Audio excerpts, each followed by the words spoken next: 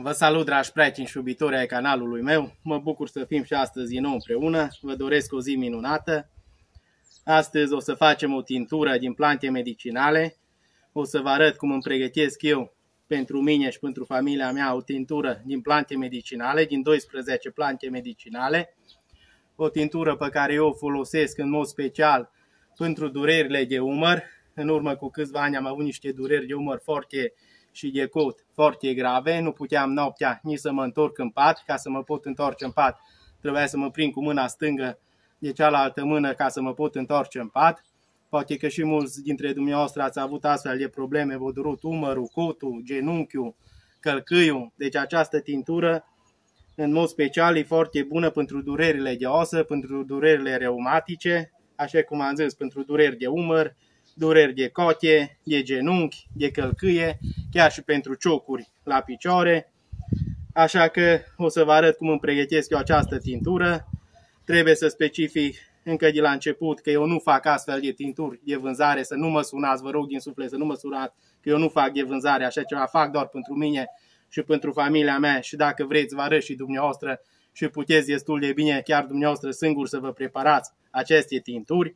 Acum știu că multă lume o să râdă, nu o să creadă, oameni buni cei care nu credeți în astfel de lucruri băbești, nici nu are rost să le faceți pentru că nu vă ajută la nimic.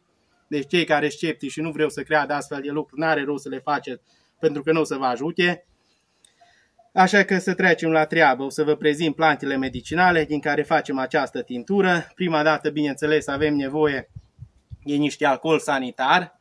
Eu o să folosesc, am un litru de alcool sanitar. Acum să poate, cine nu are, să poate face înlocui și cu țuică sau cu țuslă. Țuslă e când fier palinca prima dată ce cură de la cazan țusla aia mai slabă, deci se poate și cu țuslă și cu țuică, cine nu are, dar eu fac cu alcool sanitar. Ca și plante medicinale folosim coda calului, pătlagină cu frunza îngustă, pătlagina cu frunză mare, frunză de brusture, trifoi roșu, cicore, muguri de escai vânăt, urzică, mentă, rădăcini de hrean.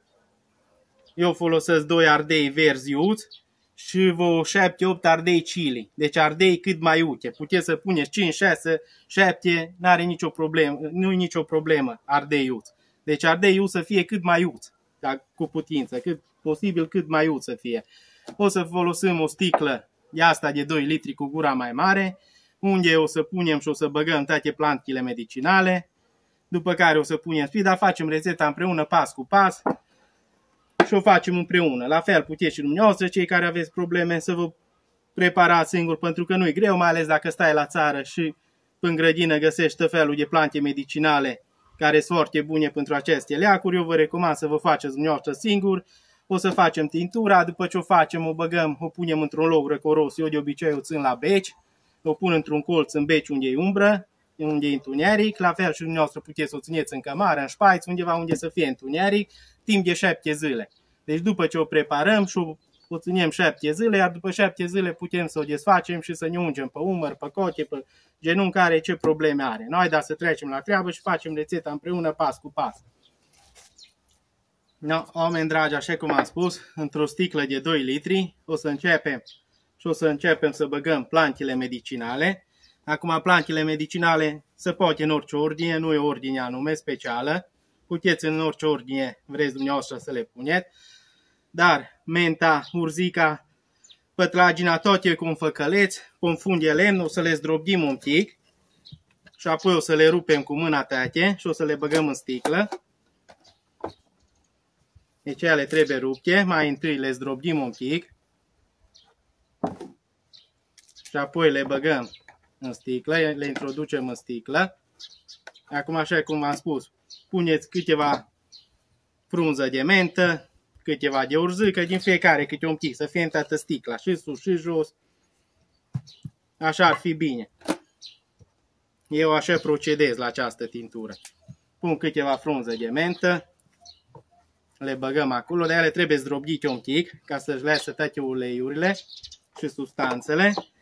Acum Luăm și câteva urzici, la fel. Le zdrobim și astea și le rupem cu mâna. Urzica e de aia vie ce pișcă. Așa, mai punem câteva.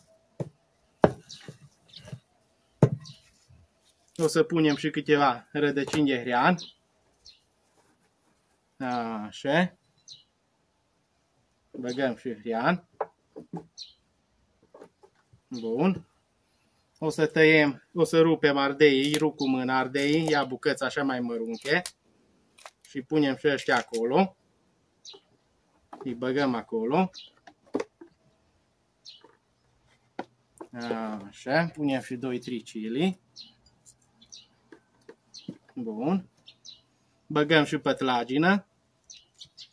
Deci, practic, toate părând, le băgăm acolo, le rupem cu mâna, le zdrobim un pic ca să-și lase ele toate uleiurile. Așa. Băgăm și scaiul vânăt.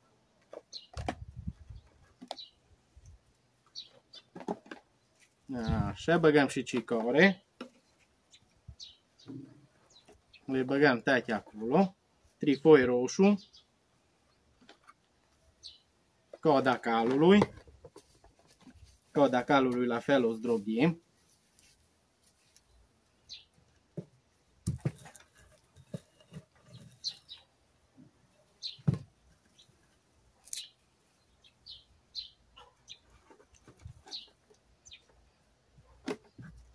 Așa o să procedăm, oameni buni, cu toate plantele medicinale. Le punem acolo, băgăm și pătlagină cu frunză lată și frunză de brusture.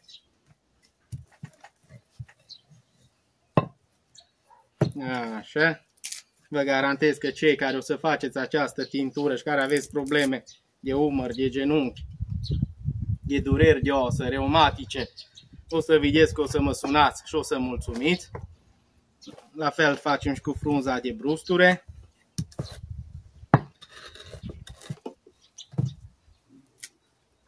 Deci practic băgăm din tete, băgăm acolo, da, așa mai băgăm câteva rădăcini de hrean, să fie și pe la mijloc. Ardei, uite din nou, chili. Așa o să procedăm, oameni buni, cu toate plantele medicinale până le introducem toate sticlă, după care o să revin cu alte, cu alte imagini. Acum n-are rost să vă țin până le bag eu toate, că durează un pic. No, oameni dragi, am terminat de băgat în sticlă toate plantele medicinale. Le-am pus toate acolo. Acum o să punem alcoolul sanitar peste ele. O să punem tot alcoolul, dacă trebuie mai completăm și umplem plină sticla.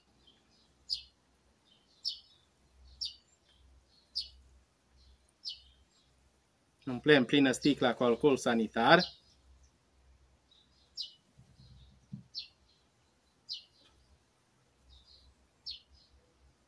Așa.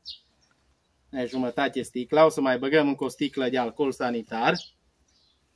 O umplem plină. După ce am umplut-o plină, punem dopul. Deci, practic, o umplem cu alcool sanitar plină, punem dopul pe ea, strângem bine, ne asigurăm că e strâns bine, o punem undeva la întuneric, în cămară sau în șpai sau la beci, cine are beci, într-un loc răcoros, o ținem timp de șapte zile, iar după șapte zile ne apucăm și o desfacem și putem să ne facem frecție, unde avem probleme, dar numai după șapte zile, după ce stă șapte zile la loc răcoros, și întunecos.